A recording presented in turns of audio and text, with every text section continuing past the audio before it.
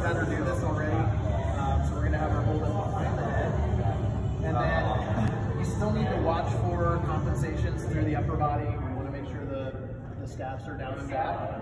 And then we'll have her rotate as far to the left as she can. And you can visually, or I'm sorry, verbally stop her if you see any compensations to the trunk and shoulder. So right there is about as far as she goes. So then what we would look at, we would look at in relation to that 90 degree angle, is she at roughly 45 degrees? Um, and what would you say on that side? Yeah, she's looking pretty good. It's close, I would say. Now let's do the other side.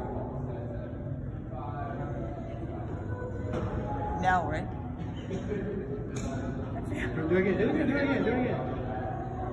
And the, the one thing that um, that we do see here is this is a pretty flexy pipe. So if she tries to get more motion, she's bending. uh, so we'll just keep it, uh, we'll keep it a little light.